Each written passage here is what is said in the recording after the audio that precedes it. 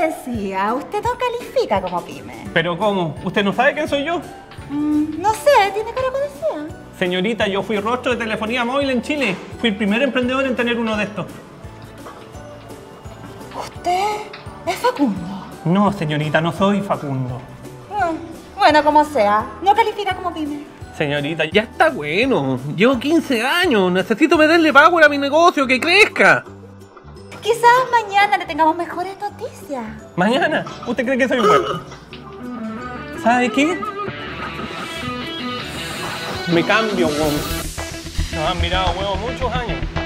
Nos han menospreciado. Pero ahora hay una compañía que cree en nosotros y nos apoya con el power que necesitamos. Tú, barbero.